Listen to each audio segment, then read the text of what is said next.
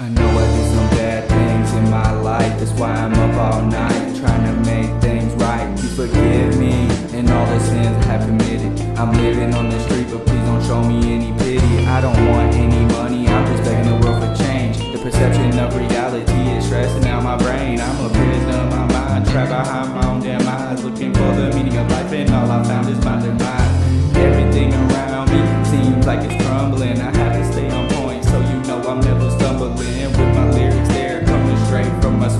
I know that you gon' hear it, and I'm gonna make sure that you feel it.